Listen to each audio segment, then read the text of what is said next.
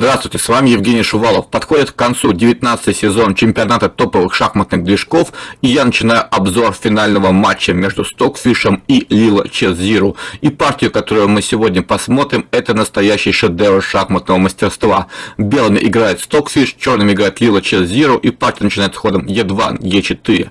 Лила отвечает сицилианской защитой, белые пока играют конь F3, потом D4, размен в центре, конь C6, d6. Белые атакуют на королевском фланге, черные играют максимально скромно, белые продолжают атаку пешками и теперь а7, а6. Ход на ферзевом фланге и последний ход в дебютной книге этого поединка. Надо сказать, что этот вариант встречается довольно нечасто и, видимо, организаторы соревнования вдохновились давнишней партией Карпова против Каспарова 85 года, где был сыгран этот вариант. В дальнейшем Анатолий Карпов сделал естественный ход слон g2, Гаспаров слон Е7, размена d4, Е5, слон Е6, и, в общем-то, Каспаров уравнял шансы, где-то, может быть, даже имел шансы на перехват, но в итоге партия завершилась в ничью. И теперь интересно, как эту позицию будут трактовать шахматные движки. Видно, что черные расставились максимально скромно, поставили почти все свои пешки на шестой ряд и предоставили белым максимум возможностей для выбора плана. И вот интересно то, что и Stockfish, и Chat Zero в этой позиции, в отличие от Анатолия Карпова, не развивают фигуру, фигура, а немедленно разменивается на поле c6, позволяя черным усилить свой пешечный кулак в центре, и еще одна черная пешка уходит на шестой ряд. И вот в этой позиции начались небольшие разночтения. Играя белым цветом, Лила Чезира избрала здесь ход ферзь f3. И на d5, естественное продвижение в центре, слон выходит на f4, потом ферзь g3, белые не прочь разменяться слонами, но при этом делают они это на поле f4, черные задвигают пешку на d4, и длинная рокировка Лила играет агрессивно, однако стокферзь ферзь e7 тактическим способом защищает пешку d4, поскольку на взятие последует ход e6, e5, конь отступает из-под боя, все равно следует e5, и конь f6. Позиция эта с перевесом белых, но тем не менее стокфиш упорно защищался, и на 101 ходу была зафиксирована ничья. А в нашей с вами встрече Stockfish играет белыми, вместо того, чтобы ставить ферзя на поле f3, выводит ферзя, нет, не на g3, а на поле d3. Такой вот ход. Ну что ж, конь f6, абсолютно естественное развитие. И здесь белый продолжает пешечный штурм, g5, нападая на коня, на взятие, взятие слоном. Ферзь b6 играют черные, избавляясь от связки и атакуя пешку на поле b2. И здесь длинная рокировка. Белые завершили мобилизацию сил и готовы обрушиться атакой на позицию черного короля, застоявшего в центре. Но черные пока этого не боятся, они играют а6, а5, где-то готовя маневр слона на поле а6, выменивая белопольных слонов. И белые на всякий случай отступают ферзем на поле f3, уводя его от возможного нападения слона и попутно лишний раз нападая на коняшку на поля f6.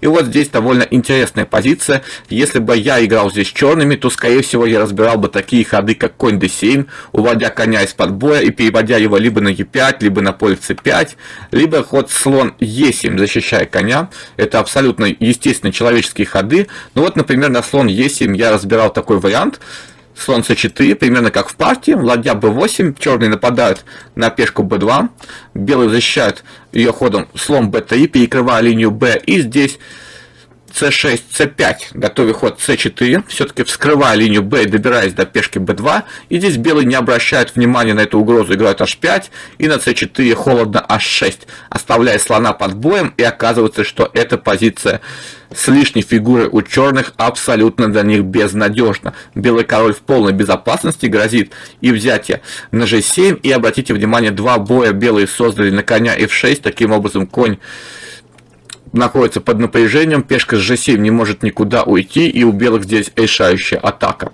Но в нашей с вами партии Лила сделала ход слон d7. Тоже не совсем человеческое решение, не совсем ясно, зачем слон занимает эту клетку. Кроме того, белые могли бы побить два раза на f6 и вроде бы выиграть пешку, но вот оказывается, что если белые пожадничают и съедят пешку, то после ладья h6 уводя ладью из-под боя, потом ладья b8, нападая на мат, приходится защищаться ходом b3, ну и здесь, например, ферзь c5, и выясняется, что у черных здесь полная компенсация, все-таки у них два слона, слон на g7 будет расположен довольно грозно, пробивать все черные поля, и вообще весь комплекс черных полей вокруг белого короля довольно серьезно ослаблен, так что у черных полная компенсация за отсутствие пешки. Поэтому не соблазняйся стокфиш выигрышем пешки, вместо этого он завершает развитие фигур ходом слон c4, и теперь на ход ладья b8 у него есть ход слон b3, перекрывая линию b. Но Лила не сдается. c6, c5. Черные хотят сыграть c4, вынудить слона отступить и потом пробить ферзем пешку на b2, начиная атаку.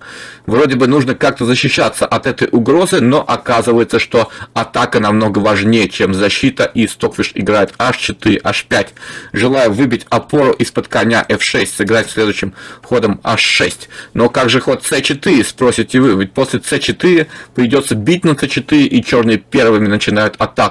Оказывается, что бить не обязательно, и слона можно просто оставить под боем, сыграть h6, на взятие также спокойно побить пешкой, и здесь, как ни странно, у черных нет хороших ходов, грозит взятие пешки на g7 с последующим взятием коня. У коня нет хороших отступлений, например, если отойти куда-нибудь на поле h7, то последует ход слон e3, нападая на ферзя, потом взятие на g7, ферзь отходит нажетой, но тоже кажется, что это абсолютно неочевидные все варианты. Но вот, например, на ход слон e5, такой вот защищая пешку, нападая на ферзя, компьютер здесь предлагает жесткое ладья бит h7, отдавая ферзя, потом забирая еще на h8 и забирая на b8. И эта позиция к выгоде белых, у них слишком много фигур за черного ферзя, и их король находится в полной безопасности.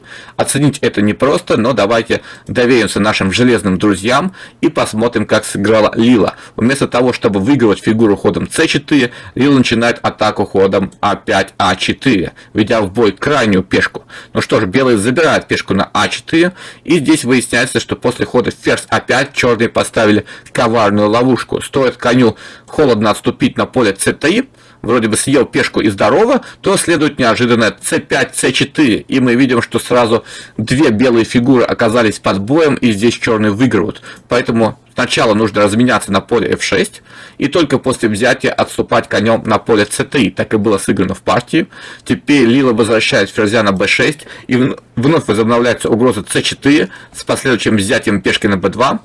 Белые защищаются от этой угрозы. Король e7 в духе варианта Раузера, отводя короля в центр, защищая пешку d6 и готовя в какой-то момент вывести чернопольного слона на h6. Белые делают тонкий профилактический ход, смысл которого я вам не могу объяснить. Просто А2, А3, какая-то форточка на будущее. Шах слоном, король отступает. Черный ставит ладью на c8, вновь грозит ход c4. Но белые блокируют эту клеточку ферзем. Ладья идет на c6, вроде бы как-то укрепляются черные. Белые централизуют все свои фигуры. Здесь черные передумали и поставили ладью уже на седьмой ряд ладья d3 куда-то централизует свои фигуры. Стокфиш, усиливает позицию, и в этот момент, в принципе, черные могли бы еще долго стоять и топтаться на месте, какие-нибудь хода вроде ладья 7 или ладья b8 там разбирать, но, видимо, злую шутку сыграла силы попытка активизировать фигуры ходом слон f4. Идея абсолютно здравая, слон с диагонали, где он стрелял в пустоту, переводится на центральную клетку Е5, где он будет атаковать и коня на поле F3, и пешку на поле B2. В общем, это такая страшнейшая диагональ. Слон здесь будет расположен идеально, защищать пешку D6, атаковать белые фигуры. Но, как выясняется, Стокфиш заготовил на этот ход просто бомбический тактический удар. Итак, типичная для сицилианской защиты жертва фигура конь D5 шах, вскрывает черного короля ценой коня. Естественно, нужно бить на d5 пешкой и теперь взятие с пешкой с шахом. Обратите внимание, что король под шахом и под боем слон на поле f4. Но вроде бы можно закрыться слоном и ничего страшного не происходит. Ведь на наивный ход f2, f4 последует ход слон b5. И уже черные выигрывают в этой партии. Но здесь сказывается дальность расчета Стокфиш. Вместо того, чтобы играть f4, следует ход ферзь h4. Такой вот перевод ферзя через всю доску. И очень важно, что теперь пешка на f6 связана связано, и белые просто грозят побить ладьей слона на e5 и потом толкнуть свою пешку на d6 двойным ударом, вскрывая полностью черного короля. Король отступает на d8, заради уводя на ферзевый фланг от этих всех ударов, и все равно следует ладья бьет e5 на взятие на e5. Ну, вы бы сыграли, может быть, d6, но Стокфиш холодно, ладья f3. Переводит ладью по третьему ряду и атакует пешку на f6.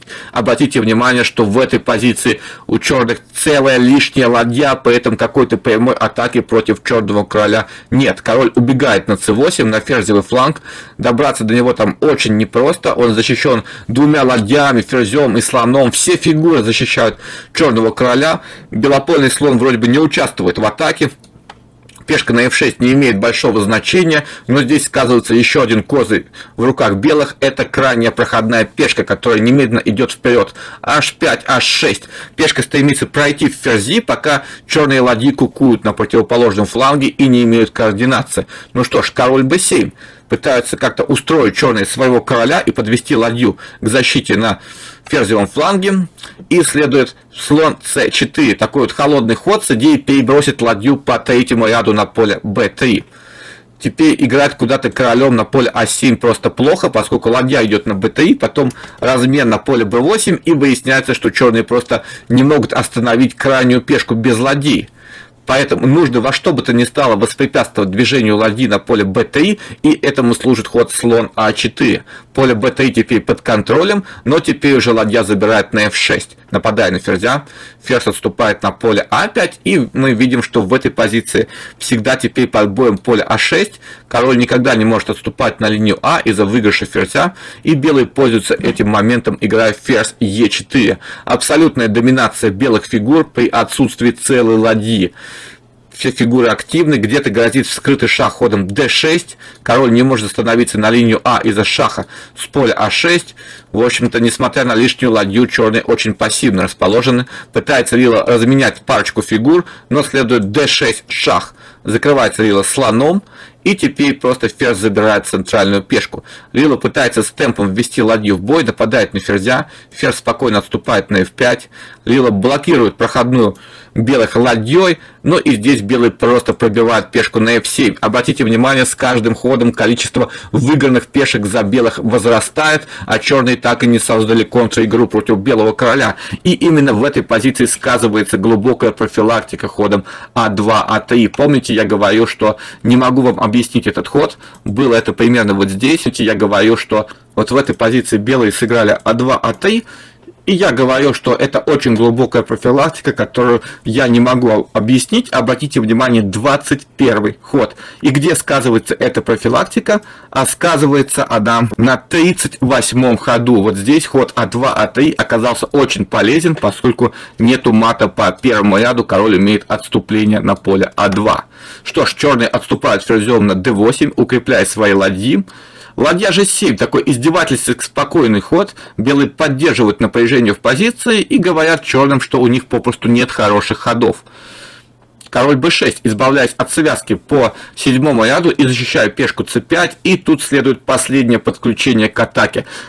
b2, b4, еще один плюс отхода от 3, что белые могут сыграть b4 и подключить пешку b к атаке размен на b4.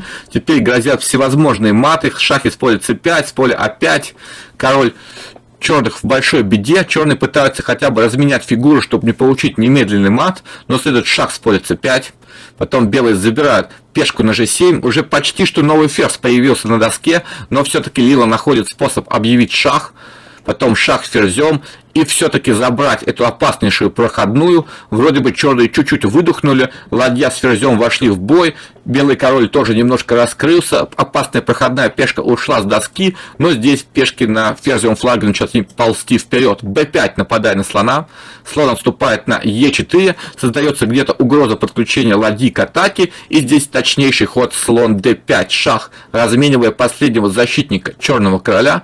После взятия на d5 король отступил на а а7 и после хода d6, d7 центральная пешка проходит в ферзи, в результате чего было признана победа белых. Вот такая вот фантастическая партия, абсолютно контринтуитивная жертва ладьи за несколько пешек При этом черный король спокойно убегает от атаки на ферзевый фланг и кажется, что ничего нет, у черных остается лишняя ладья, но тем не менее скученность их фигур, отсутствие взаимодействия и опасная проходная пешка белых на королевском фланге позволила белым продолжить атаку и довести партию до победы. Кому понравился обзор, обязательно поставьте лайк и подпишитесь на канал. А с вами был Евгений Шувалов. До новых встреч!